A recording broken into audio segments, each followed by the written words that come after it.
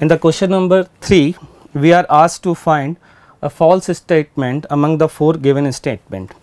The statement, statement number 1 says a rheostat can be used as a potential divider obviously which is a correct statement.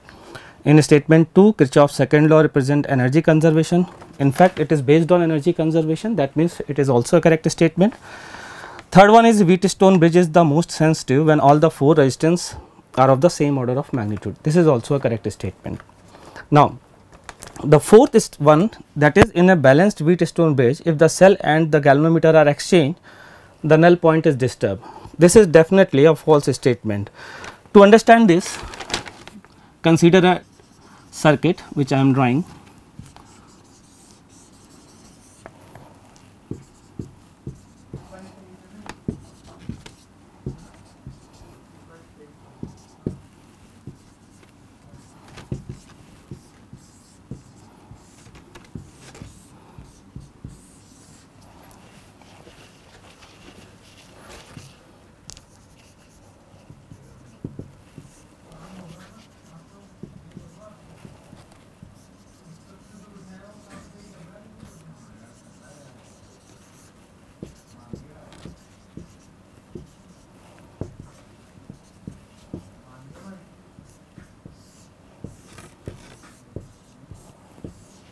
Now, condition of wheat uh, condition of balanced Wheatstone bridge according to this diagram must be the ratio of R1 and R2 should be equal to ratio of R3 and R4. That means, to balance this Wheatstone bridge R1 by R2 must be equal to R3 by R4 to get the 0 current in the galvanometer. Now, since galvanometer is arranged between, between A and C and battery is arranged between B and D therefore, from this arrangement the condition of balanced Wheatstone bridge eh, will be given by R1 by R3 must be equal to R2 by R4.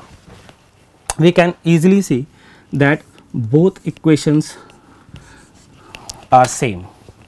That means, the false fourth statement is a false Uh, false statement and therefore, it is a correct one. The correct option is option number 4.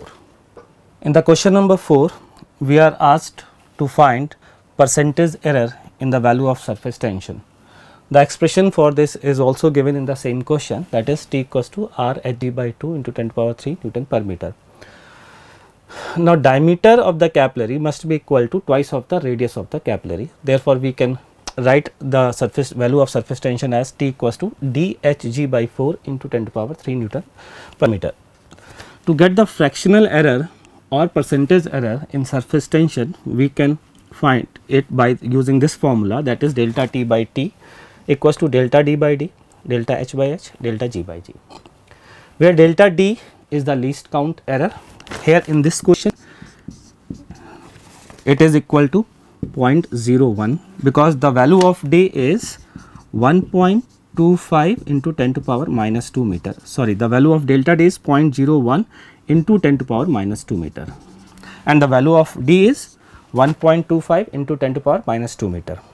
In the same manner, value of delta h is equal to 0.01 into 10 to power minus 2 because its value is 1.45 into 10 to power minus 2 meter.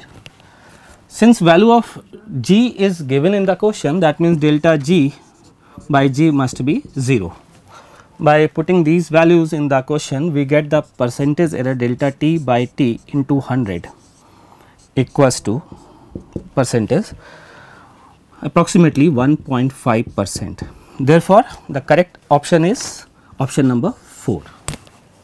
This is a fact based question which is, which is given in the NCERT and it is given that uh, the three frequencies which are contained by the modulated wave are uh, having frequency omega c plus omega m, omega c minus omega m and the third one is omega c.